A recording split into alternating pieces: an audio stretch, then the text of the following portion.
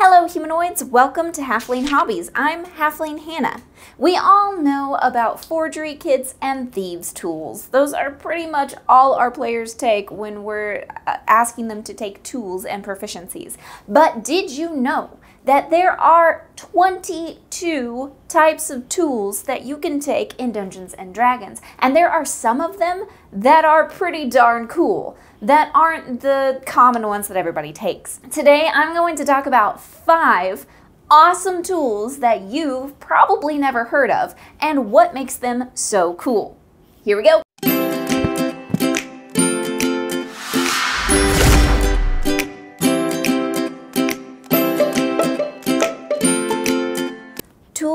Dungeons and Dragons are tools that players have proficiencies in based in their backgrounds and classes. Now, the backgrounds themselves will tell players that they have a proficiency in a certain kind of tool, or it will give them a choice of what tool they take. Oftentimes, players will choose tools based on the background of their character that they are creating. And there are some really cool options that I think DMs and players should know about that aren't just your common poisoner's kit, herbalist kit, thieves tools and forgery kits that most people take. These tools actually have a far more practical use and can do some really interesting things that most people don't know about. So number one on my list, one of my favorites is cook's utensils. They only cost one gold piece to pick up a set of cook's utensils, and they may be the humblest of the D&D tools, but they pack a surprising punch. So the first few things that a cook's tools can do are really purely for flavor. No, but really, they're about flavor. So you can actually, with Cook's Tools, transform a medicine that is bitter to be something that is enjoyable. Um, I'm not entirely sure what you would use that for, but I'm sure you can come up with something. Another one is while foraging for food while you're out and about adventuring, you can make do with things that other people wouldn't be able to. So if you get a really low uh, nature check when you're foraging for food, if you have someone with a proficiency in cook's tools, they can still use what you find as opposed to going hungry that day. And then finally, the reason why this is on the list as part of a short rest, if you have proficiency in cook's tools, you can create a tasty meal for your companions, which gives them plus one hit point per hit dice that they roll. Now, it's a small little bonus, but if you've ever been in dire situation, you know that every hit point counts. And so being able to roll five hit dice when you're extremely low and get an additional five hit points can be super useful, especially if you roll ones like I always do. Next up on our list, we have wood carvers tools. These are different than woodworkers tools and include creating fine details on things, such as runes on a wand or cool intricate designs on boxes. What's neat about this is that it gives you additional insight on trees. So if your players ever look at trees and want to know anything about trees, this player's got you covered.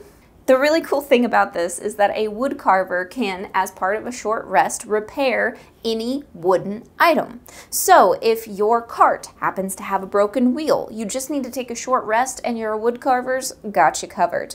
Also, as part of a short rest, a wood carver can create arrows. If you are a DM who makes your players count their arrows and they are out on a long dungeon crawl, this can be a super, super big help to have someone in the party who can craft arrows. Before I go any farther, if you're wondering how I know all this stuff, it's because it's in Xanathar's Guide to Everything. I really honestly love this resource and highly recommend getting it if you haven't picked it up yet. The description down below has a link that will take you to a local game store's website where you can purchase the book for $10 off retail, which is awesome. The link also helps support your favorite halfling, so if you're gonna pick it up anyway, why not pick it up there? And of course, as always, if you have a local game store that has it in stock, make sure that you buy it from there. Support local first, always. Now, The next one is brewer's tools. These are probably one of my favorite just because of the fun things that you can do with them and the fun things I've seen my players do with it. So this one's important for me to tell you what the tools are because that's where some of the fun comes from. So brewer's tools include a large glass jug, a quantity of hops, a siphon, and several feet of tubing. Yeah, that's the fun part. So brewer's tools are so fascinating to me because they give you some things. First of all, they give you some additional insight when you're trying to make an intelligence or a history check over events that include alcohol. And what event doesn't include alcohol? Next, it allows you additional proficiency when you are making a medicine check to use alcohol to numb pain. Pretty cool. Finally, and perhaps most usefully, this can give you advantage on your persuasion checks. A stiff drink can soften even the hardest hearts, and someone proficient in brewer's tools knows how to pour a drink that will get them just to the right place to make them talkable. I think that's really, really useful, especially with some of the NPCs that I make that are um, pretty closed off and uptight. And then finally, it, again, if you're a DM who really forces your players to do the survival aspect of the game, Brewer's Tools allows the player to be able to make potable water. Uh, they can do one gallon in a short rest or six gallons of potable water in a long rest useful. Coming in at number four, we have cobbler's tools. Now, this isn't to make the delicious dessert. This is actually someone who makes shoes. And you may be thinking, why in the world is this on a list of awesome tools? I mean, I've never had my players even buy shoes before. I just assume they have them. Why do I care if someone can make shoes? Well, you're in for a treat. First of all, Cobbler's tools allow you additional insight when you're looking at enchanted footwear. Next of all, it allows you additional proficiency in investigation because footprints hold a surprising amount of clues. I mean, have you watched CSI or Scooby Doo? Either one, they always go for the footprints. The footprints can tell you everything, and in D&D, the same thing is true if you have a cobbler in the group, you are sure to be able to track down that person based on those footprints. They can see exactly, you know, the size that they are, where they've been, all that stuff. And then two of the best traits for these tools. Number one as part of a long rest, a cobbler can go and repair the shoes of the rest of the party, and this, for the next 24 hours, allows the party to travel for 10 consecutive hours without having to make an exhaustion roll. Very, very useful if you're trying to get somewhere quickly on foot. And then, as a cobbler, you can also create hidden compartments in your shoes where you can hide stuff. I mean, who hasn't had stuff stolen or wanted to hide something from the guards when you're sneaking in somewhere? This way, you can create a compartment in your shoe that can hold something three inches by one inch, and you make an intelligence check using your proficiency used from your cobbler's tools to determine the DC needed to find the compartment which can be incredible. Cobblers, who knew? And then last but certainly not least, we have mason's tools. Mason is someone who lays brick and works with masonry, right? Like concrete, cement, stuff like that.